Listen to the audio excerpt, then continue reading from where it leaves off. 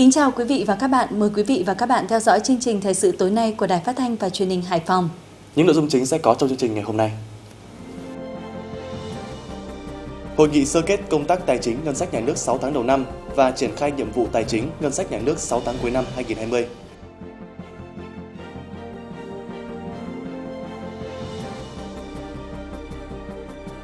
Bộ trưởng Bộ Nông nghiệp và Phát triển Nông thôn kiểm tra công tác tái đàn thúc đẩy tăng đàn lợn tại Hải Phòng.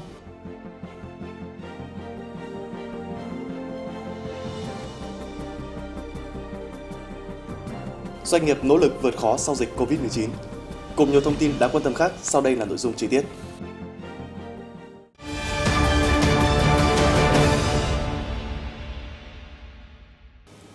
Thưa quý vị, các cấp ngành địa phương cần theo dõi sát tình hình quốc tế trong nước, có đối sách phù hợp, kịp thời, quyết liệt tập trung thực hiện mục tiêu kép, vừa phòng chống dịch, vừa khôi phục phát triển kinh tế xã hội là chỉ đạo của Thủ tướng Nguyễn Xuân Phúc tại hội nghị sơ kết công tác tài chính ngân sách nhà nước 6 tháng đầu năm và triển khai nhiệm vụ tài chính ngân sách nhà nước 6 tháng cuối năm năm 2020 của Bộ Tài chính được tổ chức sáng nay.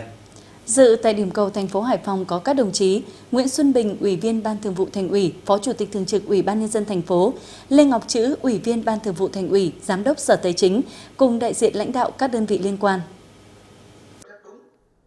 Thủ tướng Nguyễn Xuân Phúc yêu cầu ngành tài chính, các cấp, ngành địa phương phân đấu cao nhất, thực hiện 3 nhiệm vụ trọng tâm trong 6 tháng cuối năm.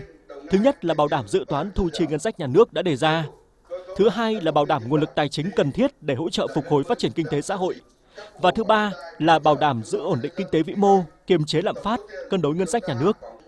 Yêu cầu ngành tài chính triển khai các biện pháp tháo gỡ khó khăn trong sản xuất kinh doanh, hỗ trợ doanh nghiệp và người dân thúc đẩy tăng trưởng kinh tế xã hội. 6 tháng đầu năm trong bối cảnh dịch bệnh COVID-19 tác động mạnh mẽ đến tình hình quốc tế và trong nước, toàn ngành tài chính đã bám sát tình hình thực tiễn, chủ động đề xuất các giải pháp chính sách tài khóa, góp phần tích cực vào kết quả thực hiện nhiệm vụ kép, vừa phòng chống dịch, vừa phát triển kinh tế xã hội, bảo đảm đời sống nhân dân và chuẩn bị điều kiện sẵn sàng cho giai đoạn phục hồi và phát triển sau đại dịch.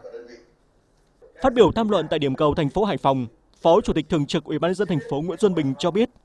6 tháng đầu năm, Hải Phòng đã thực hiện nghiêm túc chỉ đạo của Trung ương trong công tác phòng chống dịch COVID-19. Đến nay, thành phố chưa để xảy ra ca dương tính với COVID-19. Bên cạnh đó, kinh tế xã hội của thành phố tiếp tục đạt được mức tăng trưởng với tổng sản phẩm trên địa bàn GRDP tăng gần 11%, là mức tăng trưởng cao nhất cả nước. Nhiều chỉ tiêu tiếp tục tăng trưởng khá so với cùng kỳ năm 2019, như chỉ số sản xuất công nghiệp tăng, thu hút vốn đầu tư trực tiếp nước ngoài FDI. Thu ngân sách nhà nước trên địa bàn đạt gần 38.200 tỷ đồng, đạt 42% dự toán trung ương giao và bằng 88% so với cùng kỳ.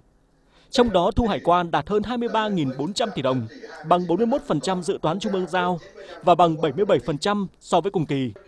Thu nội địa đạt gần 13.800 tỷ đồng, đạt 45% dự toán trung ương giao, bằng 113% so với cùng kỳ.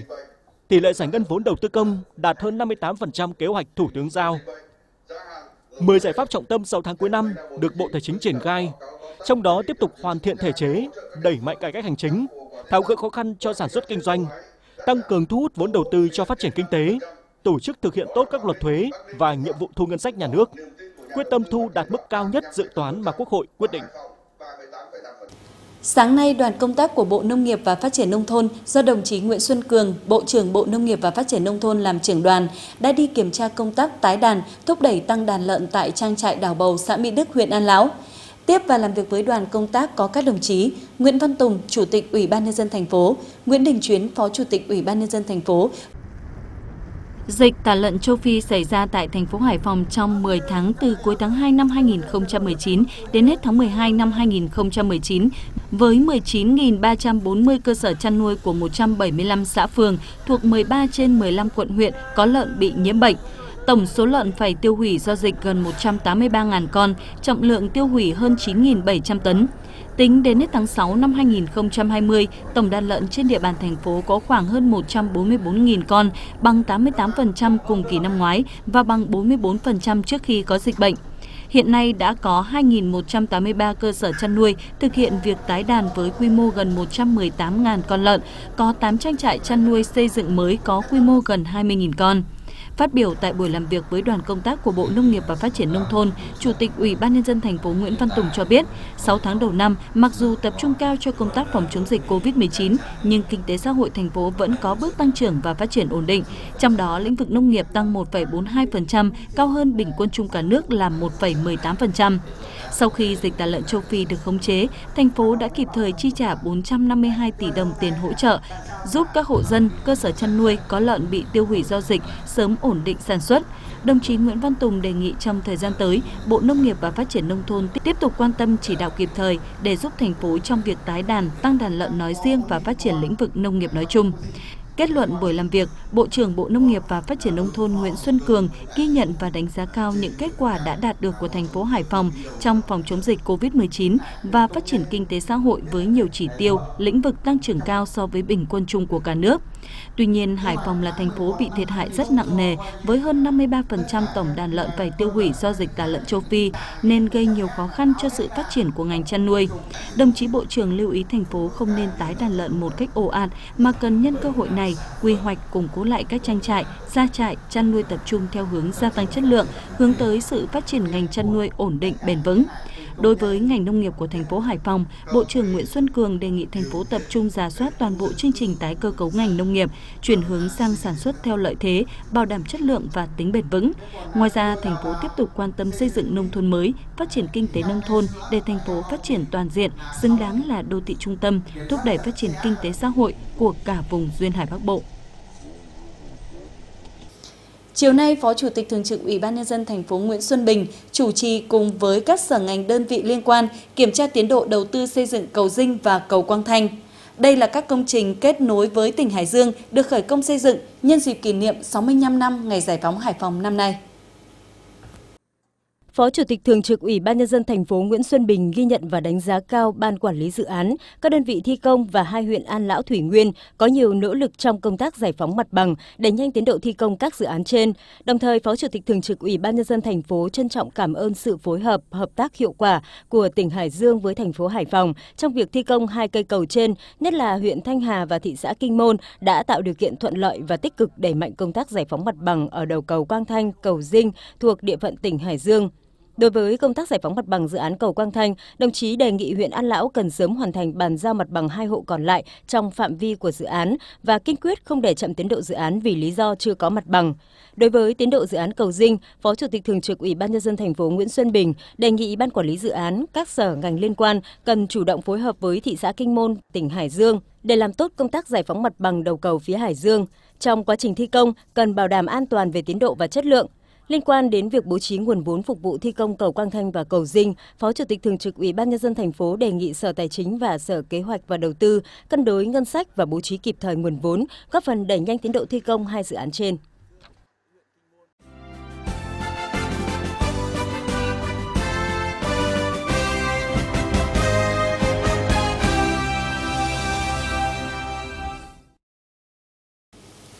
Sáng nay, huyện Vĩnh Bảo tổ chức khánh thành nhà truyền thống cách mạng tại xã Cổ Am, nơi thành lập tri bộ đảng đầu tiên trên địa bàn huyện vào ngày 8 tháng 8 năm 1938.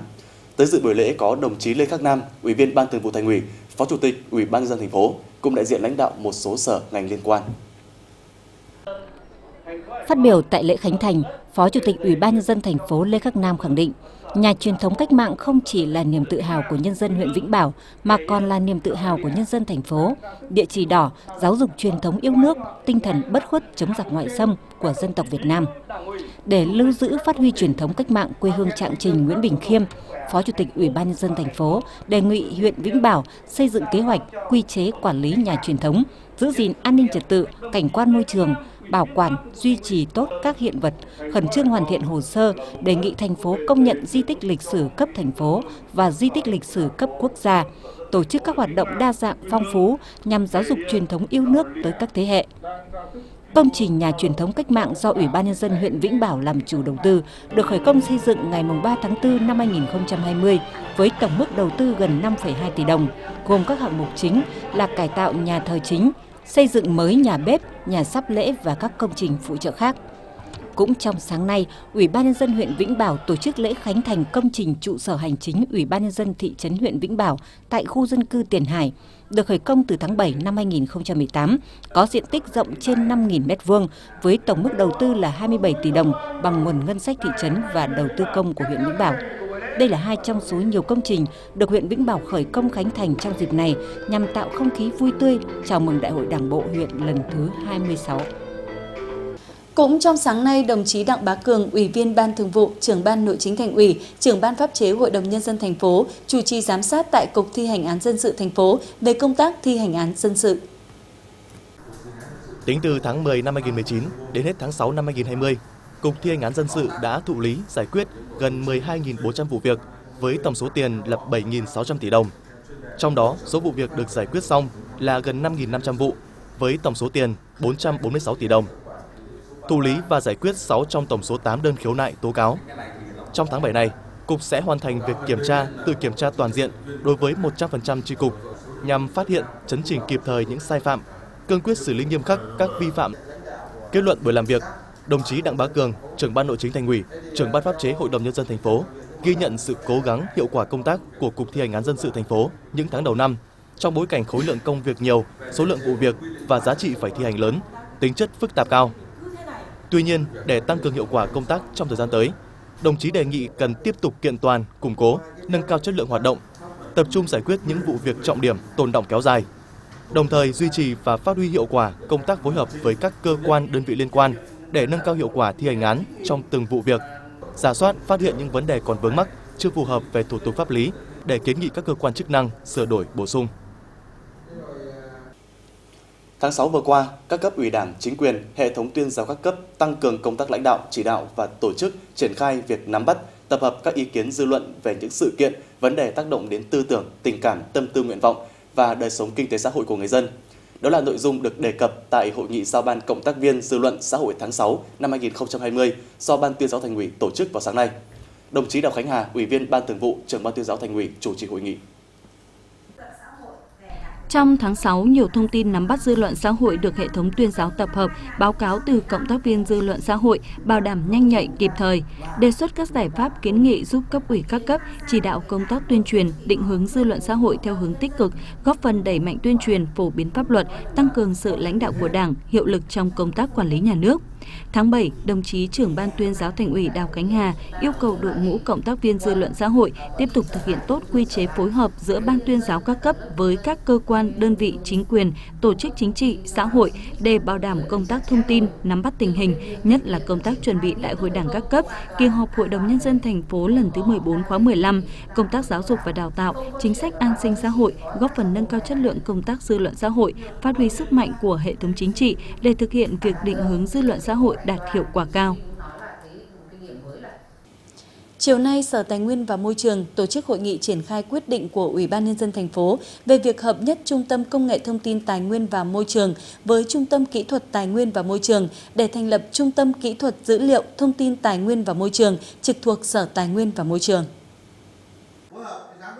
Theo quyết định của Ủy ban Nhân dân thành phố, Trung tâm Kỹ thuật Dữ liệu Thông tin Tài nguyên và Môi trường trực thuộc Sở Tài nguyên và Môi trường vừa chính thức được thành lập trên cơ sở hợp nhất Trung tâm Công nghệ Thông tin Tài nguyên và Môi trường và Trung tâm Kỹ thuật Tài nguyên và Môi trường.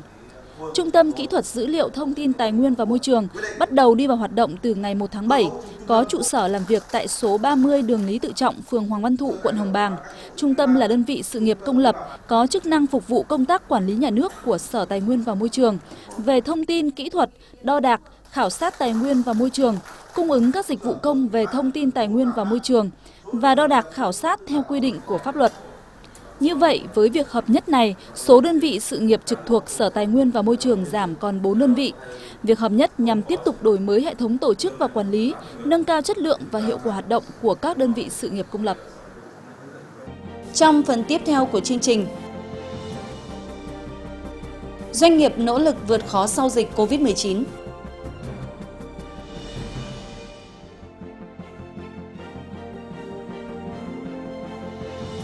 Du lịch Cát Bà khởi sắc nhờ đầu tư cơ sở hạ tầng, đa dạng sản phẩm và nâng cao chất lượng dịch vụ. Thưa quý vị, do ảnh hưởng của đại dịch COVID-19, rất nhiều doanh nghiệp trên địa bàn thành phố bị ảnh hưởng sản xuất kinh doanh. Cùng với chủ động có kế hoạch và chiến lược kinh doanh phù hợp vượt qua khó khăn, hơn lúc nào hết, doanh nghiệp cần sự hỗ trợ của các cấp ngành từ cơ chế chính sách, vốn đầu tư và thị trường tiêu thụ sản phẩm. Ảnh hưởng của dịch bệnh COVID-19 khiến hoạt động của các doanh nghiệp trên địa bàn thành phố trong thời gian qua gặp không ít khó khăn. Vì vậy, việc bảo đảm sản xuất kinh doanh, khôi phục hoạt động kinh tế đang là nhiệm vụ trọng tâm được các cấp ngành và chính quyền địa phương chú trọng đẩy mạnh. Cùng với cơ chế chính sách của chính phủ, việc các ngân hàng chung tay hỗ trợ doanh nghiệp, cơ cấu lại nguồn vốn, giảm lãi vay đã góp phần hỗ trợ doanh nghiệp phát triển sản xuất kinh doanh. Tuy nhiên, để tiếp cận được nguồn vốn cũng như các chính sách ưu đãi của ngân hàng thì doanh nghiệp cũng cần tuân thủ đúng các quy định. Ngân hàng người ta cũng là một tổ chức kinh doanh, à, cho nên là à, các doanh nghiệp muốn tiếp cận nguồn vốn thì cũng phải tuân thủ à, những cái quy định của ngân hàng. Ví dụ như là, à, hồ sơ à, về dự án nó phải là minh bạch có hiệu quả, đặc biệt vấn đề tài chính thì ngân hàng người ta cũng dễ dàng cho vay vốn. Còn nếu như mà không tuân thủ những cái quy định mà về quản lý tài chính của ngân hàng thì cũng sẽ rất khó tiếp cận nguồn vốn vì vậy mà muốn được hỗ trợ thì tôi nghĩ là tất cả các doanh nghiệp ờ, và trong làm ăn thì vấn đề minh bạch là vấn đề cực kỳ quan trọng. Theo các doanh nghiệp, mức lãi suất cho vay hiện nay của ngân hàng ở thời điểm này có thể chấp nhận được, nhưng về lâu dài thì cần tiếp tục giảm để tạo điều kiện tốt hơn cho doanh nghiệp đầu tư phát triển sản xuất một số ý kiến khác thì cho rằng cơ quan quản lý thuế và các ngân hàng cần căn cứ vào tình hình thực tế để áp dụng chính sách giãn giảm lãi suất, thuế cho doanh nghiệp. So với những nước chậm phát triển thì lãi suất của Việt Nam tạm chấp nhận được. Nhưng mà so với lãi suất của những nước tiên tiến thì chúng ta vẫn là cao. Và cụ thể của họ nó thường thường là ở giai đoạn này của họ lãi suất là bằng công hoặc chỉ có một phần trăm thôi. Trong đó mình vẫn là năm sáu phần trăm. Thì cái này tôi nghĩ là uh, của chúng ta hợp lý ở giai đoạn này. Và chúng tôi nghĩ là ngày hôm nay thì uh, cái diễn biến của covid nó còn rất là phức tạp. Cho nên là tôi mong muốn là uh, ngành ngân hàng cố gắng duy trì mặt bằng lãi suất này uh, cho đến hết năm 2020 ở những cái mà hồ sơ chúng tôi đã đã đã hoàn thiện thi công xong xuất hóa đơn đỏ để thanh toán. Nhưng mà chúng tôi chưa nhận được tiền chưa nhận được tiền thì làm sao chúng tôi trả lợi ngân hàng được, làm sao chúng tôi nộp thuế được? Thế vậy thì ngành thuế, ngành ngân hàng phải căn cứ vào những tình thực tế để giãn cái thời gian thì nó hợp lý. Để thúc đẩy sản xuất kinh doanh, mới đây tại hội nghị chính phủ với các địa phương, thủ tướng chính phủ nguyễn xuân phúc nêu rõ, trong bối cảnh hiện nay, nhiệm vụ phục hồi phát triển kinh tế trở nên cấp bách hơn bao giờ hết. Thủ tướng yêu cầu các địa phương chủ động biện pháp phát triển kinh tế, nâng cao đời sống nhân dân trong đó, chú trọng cấu phần quan trọng nhất đó là đầu tư, xuất khẩu và tiêu dùng. Tiếp tục thực hiện các giải pháp tháo gỡ khó khăn cho doanh nghiệp, hỗ trợ người dân bị ảnh hưởng của dịch bệnh, đẩy mạnh xuất khẩu, phấn đấu không giảm chỉ tiêu này trong năm nay. Sự chỉ đạo điều hành quyết liệt của người đứng đầu chính phủ sẽ là nguồn động lực để cộng đồng doanh nghiệp vượt khó vươn lên. Là địa phương thuần nông, huyện Kiến Thụy bắt đầu xây dựng nông thôn mới trong điều kiện kinh tế xã hội còn nhiều khó khăn. Toàn huyện chỉ đạt bình quân 6,2 trên 19 tiêu chí xây dựng nông thôn mới trong năm 2010. Song với quyết tâm của toàn hệ thống chính trị và sự đồng thuận ủng hộ của nhân dân, đến tháng 6 năm 2019, 100% số xã của huyện Kiến Thụy đã về đích nông thôn mới. Năm 2020, địa phương hoàn thành 9 trên 9 tiêu chí huyện nông thôn mới. Những kết quả ý nghĩa trên sẽ là bước chuyển quan trọng để huyện Kiến Thụy tiếp tục xây dựng nông thôn mới ngày càng đi vào chiều sâu, bảo đảm tính bền vững, hướng tới hoàn thành xây dựng huyện nông thôn mới kiểu mẫu vào năm 2025 theo nghị quyết Đại hội Đảng bộ huyện lần thứ 25, nhiệm kỳ 2020-2025 đã đề ra. Sau 10 năm triển khai, chương trình xây dựng nông thôn mới mang đến sức sống, sự đổi thay toàn diện cho nông thôn Kiến Thụy. Thành công lớn trong xây dựng nông thôn mới tại Kiến Thụy chính là phát huy tốt vai trò chủ thể của người dân. Chỉ tính riêng trong giai đoạn 2016 đến 2020, huyện đã huy động được 65 tỷ đồng từ nguồn lực nhân dân tham gia đóng góp. Điển hình trong triển khai làm đường giao thông nông thôn, cùng với tiếp nhận xi măng thành phố hỗ trợ, huyện vận động nhân dân hiến hàng nghìn diện tích đất nông nghiệp, đất thổ cư, góp hàng nghìn ngày công, vật liệu, tháo rỡ công trình để xây dựng gần 500 km đường giao thông nông thôn. Như ngày xưa thì là bà con phải đi khổ lắm. Ngày xưa là đường đất nó còn bậc thang nữa rất là trơn này nổi mỗi khi bà con thu hoạch mà gặp trời mưa đấy là không vận chuyển được đó, có khi lúa là phải để mấy ngày Thế nhưng bây giờ thì thuận lợi lắm. Bây giờ thì đường bê tông đã cứng hóa, thuận lợi đến đến đến sát ruộng rồi. Tất cả các cái cơ sở hạ tầng về đường xá, giao thông nông thôn, rồi là đường nội đồng là đều được sự quan tâm với là của Đảng và nhà nước và cái ừ, sự đóng góp ừ, của nhân dân nên nên là đã thu được rất là nhiều cái thành tựu rất lớn. Chúng tôi rất là phấn khởi và tin tưởng vào là cái đường lối lãnh đạo của Đảng, thế rồi sự quan tâm với là của Đảng và nhà nước đối với lại là à, về công tác à, nông nghiệp nông thôn. Cùng với đầu tư về hạ tầng xây dựng nông thôn mới, huyện Kiến Thụy thực hiện đẩy mạnh tái cơ cấu nông nghiệp, quy vùng sản xuất tập trung theo hướng nâng cao sức cạnh tranh giá trị gia tăng. Các mô hình sản xuất nông nghiệp ứng dụng công nghệ cao bước đầu được hình thành và có tiềm năng phát triển. Thu nhập bình quân đầu người đạt 51,7 triệu đồng một người một năm, đứng trong top đầu khối huyện của thành phố. Xác định xây dựng nông thôn mới kiểu mẫu chính là bước tiến nhằm củng cố và nâng cao những thành tựu chương trình quốc gia xây dựng nông thôn mới giai đoạn 2010 đến 2020 đã đạt được. Trong 2 năm vừa qua, huyện Kiến Thụy đã triển khai xây dựng thành công nông thôn mới kiểu mẫu tại hai thôn Xuân Chiếng, xã Ngũ Phúc và thôn Đa Ngư, xã Tân Trào, làm điểm để các địa phương học tập rút kinh nghiệm. Hiện nay, huyện đang tiếp tục xây dựng 11 thôn nông thôn mới kiểu mẫu và xã nông thôn mới kiểu mẫu Thụy Hương. Đặt mục tiêu đến hết năm 2025, 100% số xã trên địa bàn hoàn thành tiêu chí xã nông thôn mới kiểu mẫu. Huyện đạt chuẩn huyện nông thôn mới kiểu mẫu. Thành phố rồi huyện thì cũng ờ, giao cho Thị Hương là cuối năm 2019 là giao cho Thị Hương xây dựng xã nông thôn mới kiểu mẫu. Thì sau khi được ờ, tiếp nhận cái chương trình này thì về Đảng ủy cũng đã tổ chức các cái hội nghị và ban hành cái nghị quyết chuyên đề, nghị quyết số 18 về xây dựng xã nông thôn mới kiểu mẫu với cái mục tiêu là xây dựng xã Thị Hương uh, giàu đẹp văn minh sau khi mà nghị quyết được ban hành thì được ờ, cấp ủy chính quyền rồi cán bộ đảng viên và nhân dân ở địa phương cũng hết sức là phấn khởi. Trên cơ sở xác định rõ phương hướng, mục tiêu, nhiệm vụ, khai thác triệt để tiềm năng thế mạnh, tận dụng mọi thời cơ, vượt qua khó khăn thách thức, cùng đội ngũ cán bộ có đủ năng lực trách nhiệm, phẩm chất, uy tín, huyện Kiến Thụy tự tin vững bước vào nhiệm kỳ mới, phấn đấu trở thành huyện nông thôn mới kiểu mẫu trước năm 2025, đóng góp nhiều hơn nữa để xây dựng thành phố Hải Phòng ngày càng phát triển nhanh, bền vững. Ngay sau khi thu hoạch lúa xuân, ngành nông nghiệp huyện Thủy Nguyên chỉ đạo hướng dẫn bà con nông dân các xã tập trung nhân lực, vật lực đẩy nhanh tiến độ sản xuất lúa vụ mùa, bảo đảm cùng thời vụ. Vụ lúa mùa năm nay, huyện Thủy Nguyên gieo cấy hơn 4.600 ha. Cơ cấu giống chủ yếu gồm đài thơm 8, BQ11, VTNA2 và một số giống lúa lai. Thời gian qua, các địa phương trên địa bàn đã tích cực làm đất, kết hợp công tác vệ sinh đồng ruộng nhằm hạn chế sâu bệnh gây hại. Đến thời điểm này, diện tích làm đất toàn huyện là hơn 3.500 ha, đạt 80% kế hoạch. Tổng diện tích mạ đã gieo được gần 200 ha. Cùng với đó, huyện cũng chỉ đạo các xã thực hiện hỗ trợ nông dân thuốc diệt chuột và thuốc xử lý hạt giống để chống bệnh lùn sọc đen hại lúa. Dự kiến địa phương sẽ hoàn thành cấy hết diện tích lúa mùa trước ngày 25 tháng 7. Khi chúng tôi gặt xong một cái là chúng tôi tiến hành vào cày cày cày vỡ ngay. Và đến nay chúng tôi đã 157 hecta chúng tôi đã cày đạt 95%, chỉ còn lại 5% để chúng tôi lại làm tiếp. Riêng mà cái trà mạ mà hiện nay các anh đang đứng đây đang nhìn đây, nó đã được ba lá rưỡi, gọi là, là cái à, lếp cái hoa vàng. Đấy. Thì chúng tôi cũng là gieo được đến nay là được 10 ngày rồi. Đấy. Và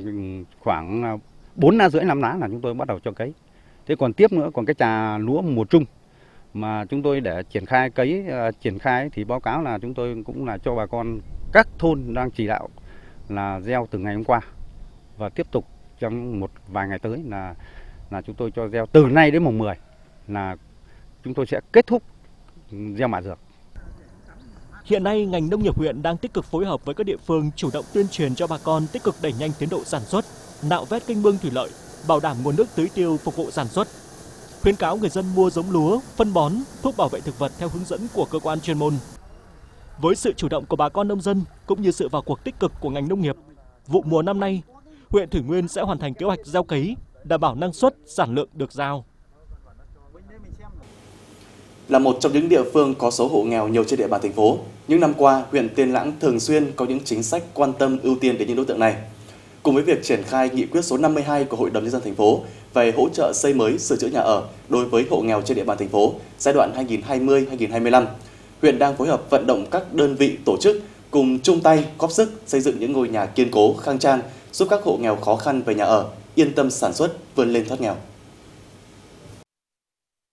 Căn nhà cũ rộng chừng 15 mét vuông của vợ chồng anh Đỗ Tiến Hưng và chị Phạm Thị Hường ở khu 5 thị trấn Tiên Lãng đã bị xuống cấp từ lâu. Để có một căn nhà mới khang trang chắc chắn là quá sức đối với anh chị khi mà hoàn cảnh gia đình khó khăn, thu nhập lại bấp bênh. Qua giả soát, hộ gia đình anh Hưng chị Hường thuộc diện được nhận hỗ trợ xây sửa nhà theo tinh thần nghị quyết 52 của Hội đồng dân thành phố.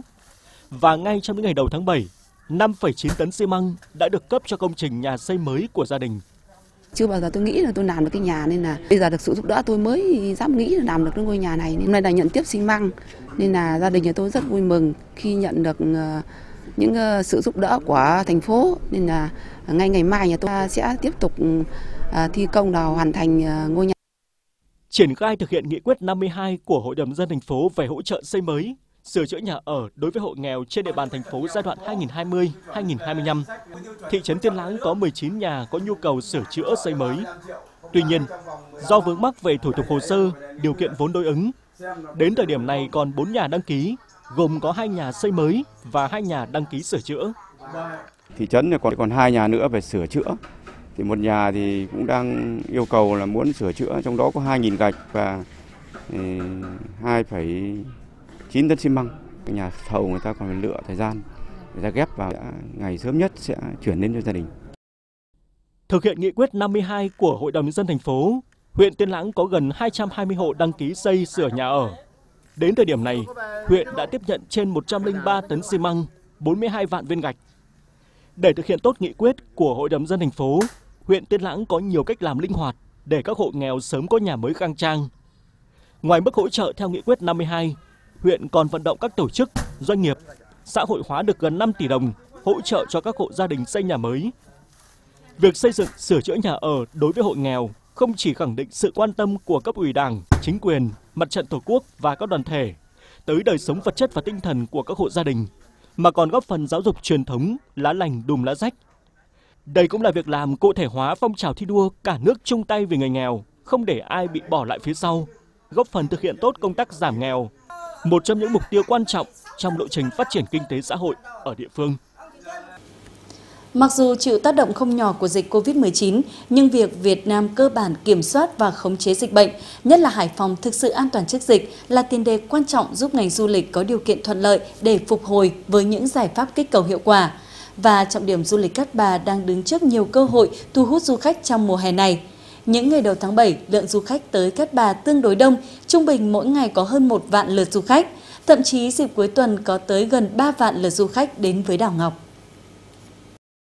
Một trong những sản phẩm du lịch mới hấp dẫn du khách tới Cát Bà mùa du lịch năm nay chính là dịch vụ cáp treo vượt biển, lần đầu tiên xuất hiện tại Hải Phòng. Sau hơn một tháng đưa vào hoạt động, tuyến cáp treo Cát Hải Phủ Long thu hút hàng nghìn lượt khách sử dụng với những trải nghiệm thú vị. Ngay trên đường đi thôi, di chuyển đến đây dùng các treo đấy em thấy rất tuyệt vời rồi. Cát Bà mình thật sự là ngoài sự mong đợi của em em cũng được một số bạn bè giới thiệu để đến với Cát Bà nhưng mà thật sự khi đến đây ở đây rất là tuyệt vời. Đây này những ngày tiếp theo em sẽ còn tiếp tục sử dụng những dịch vụ mới và uh, khi trải nghiệm rồi em sẽ về giới thiệu lại cho bạn bè, người thân ạ. Cáp treo không chỉ là dịch vụ vận chuyển du khách an toàn thuận tiện mà còn là sản phẩm du lịch mới độc đáo hấp dẫn khi đến với khu du lịch Cát Bà. Cùng với đó, những sản phẩm du lịch mới là dịch vụ tàu nghỉ đêm trên Vịnh Lan Hạ hay các tổ hợp du lịch nghỉ dưỡng cao cấp đạt tiêu chuẩn quốc tế được đưa vào phục vụ trong mùa du lịch năm nay là điểm khác biệt thu hút đông đảo du khách đến với đảo Ngọc. Trọng điểm du lịch Cát Bà vốn nổi tiếng thì năm nay càng được biết đến nhiều hơn khi xác lập vị trí trên bản đồ du lịch quốc tế sau khi Vịnh Lan Hạ được công nhận là một trong những vịnh đẹp nhất thế giới. Đến Cát Bà lần đầu tiên, tôi cảm nhận phong cảnh quần đảo này thật tuyệt vời và càng tuyệt vời hơn khi được trải nghiệm dịch vụ tàu nghỉ đêm trên Vịnh Lan Hạ. Chất lượng dịch vụ du lịch tại Cát Bà rất tốt, để lại trong tôi rất nhiều ấn tượng. Khi đến Việt Nam, Cát Bà chính là danh thắng tôi lựa chọn cho hành trình khám phá biển đảo. Những dịch vụ độc đáo tại khu du lịch Cát Bà có nhiều nét tương đồng với những điểm du lịch nổi tiếng ở các bãi biển trên thế giới. Sau khi hạ tầng du lịch từng bước được hoàn thiện, nhiều dịch vụ du lịch đẳng cấp được đưa vào sử dụng. Cùng với sản phẩm du lịch không ngừng được đa dạng hóa, du lịch Cát Bà đang đón bắt nhiều vận hội mới và có dấu hiệu khởi sắc trong thời gian tới. Và càng thuận lợi hơn cho trọng điểm du lịch Cát Bà, mới đây, Ủy ban dân thành phố đã ban hành kế hoạch thực hiện chương trình kích cầu thu hút du khách đến với Hải Phòng năm 2020 nhằm hưởng ứng phong trào Người Việt Nam đi du lịch Việt Nam với thông điệp Hải Phòng, điểm đến an toàn và hấp dẫn. Đồ Sơn và Cát Bà sẽ là lựa chọn của du khách trong những tour du lịch nội địa mùa du lịch năm nay. Thưa quý vị, thời tiết thất thường nắng nóng kéo dài là điều kiện thuận lợi cho sinh vật vi khuẩn phát triển, dẫn đến một số bệnh truyền nhiễm nguy hiểm. Vì vậy, người dân cần phải chủ động thực hiện các biện pháp phòng ngừa bệnh trong những ngày hè, nhất là đối với những người cao tuổi và trẻ em. Ngay từ đầu năm, việc giám sát phòng chống dịch bệnh trên địa bàn được Trung tâm Y tế huyện An Dương triển khai chủ động, tích cực, đồng bộ từ huyện đến các xã thị trấn thôn trên địa bàn. Đặc biệt là chủ động giám sát phòng chống dịch bệnh viêm đường hô hấp do COVID-19 giám sát chặt chẽ không để các bệnh truyền nhiễm nguy hiểm, nhất là những bệnh thường xuất hiện vào mùa hè phát triển thành dịch. Từ đầu năm đến nay, trên địa bàn huyện An Dương ghi nhận 15 ca mắc tay chân miệng, 1 ca mắc sốt xuất huyết, 112 ca bệnh tiêu chảy, 326 ca hội chứng cúm, 4 ca quai bị, 11 ca thủy đậu và 3 ca sởi. Nhờ tăng cường giám sát xử lý kịp thời các ca bệnh truyền nhiễm nên nhìn chung tình hình dịch bệnh thời gian qua được kiểm soát tốt. Tuy nhiên với tình hình thời tiết diễn biến phức tạp, dự báo nắng nóng tiếp diễn trong những ngày tới, nếu người dân không chủ động có biện pháp phòng ngừa, rất có thể bị nhiễm bệnh. Các khoa phòng của trung tâm chuẩn bị đầy đủ trang thiết bị, cơ sở vật chất, vật tư tiêu hao và thuốc men để phục vụ cho công tác phòng chống dịch bệnh. Ờ, trung tâm y tế đã viết tất cả những cái bài tuyên truyền về các bệnh nêu trên phát trên loa truyền thanh của huyện, của các xã để tuyên truyền cho nhân dân, giám sát tuyến dưới trong việc tuyên truyền cho các nhà trẻ, các trường học, các doanh nghiệp, các à, khu dân cư và cộng đồng phát hiện kịp thời những ca mắc bệnh, đồng thời xử lý kịp thời, không để lây lan bùng phát thành dịch. Trung tâm Y tế huyện tích cực phối hợp với trạm y tế các xã thị trấn, giám sát chặt ổ dịch cũ, phân công cán bộ chủ động giám sát các bệnh truyền nhiễm gây dịch tại các xã thị trấn, đặc biệt là các xã đang có bệnh nhân mắc bệnh truyền nhiễm. Các bác sĩ cũng khuyến cáo mỗi người dân cần chủ động thực hiện các biện pháp phòng chống dịch bệnh cho gia đình và cộng đồng trong mùa hè. Thì trung tâm vẫn phải tiếp tục làm tốt công tác tuyên truyền phòng chống dịch bệnh mùa hè bằng cách tuyên truyền ờ, cho nhân dân cách vệ sinh cá nhân, vệ sinh môi trường, vệ sinh an toàn thực phẩm, ăn chín, uống đủ nước để phòng chống say nắng, say nóng trong những ngày hè oi bức. Với sức đề kháng kém, người già và trẻ em là hai đối tượng dễ bị ảnh hưởng và dễ mắc bệnh trước thời tiết nắng nóng, ngột ngạt, khó chịu của mùa hè. Cần có chế độ chăm sóc dinh dưỡng sinh hoạt hợp lý để phòng chống những căn bệnh thường xuất hiện trong mùa hè. Bên cạnh chủ động phòng chống các dịch bệnh mùa hè, cũng cần lưu ý theo dõi đưa con em trong độ tuổi đi tiêm chủng đầy đủ theo chương trình tiêm chủng mở rộng, cho trẻ ăn đầy đủ chất dinh dưỡng, uống các loại nước trái cây nhằm bổ sung vitamin, khoáng chất, giúp cơ thể tăng sức đề kháng phòng bệnh. Khi có dấu hiệu mắc bệnh, cần đến ngay cơ sở y tế để được khám và điều trị kịp thời. Quý vị và các bạn thân mến, thông tin về dự báo thời tiết sẽ kết thúc chương trình thời sự tối nay của Đài Phát thanh và Truyền hình Hải Phòng. Cảm ơn sự quan tâm theo dõi của quý vị và các bạn. Xin chào và hẹn gặp lại trong những chương trình sau.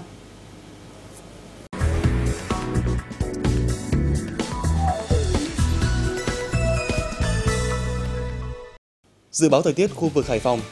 Khu vực trung tâm thành phố, mây thay đổi, đêm không mưa, ngày trời nắng, gió đông nam cấp 2, nhiệt độ từ 28 đến 34 độ, độ ẩm từ 85 đến 90%.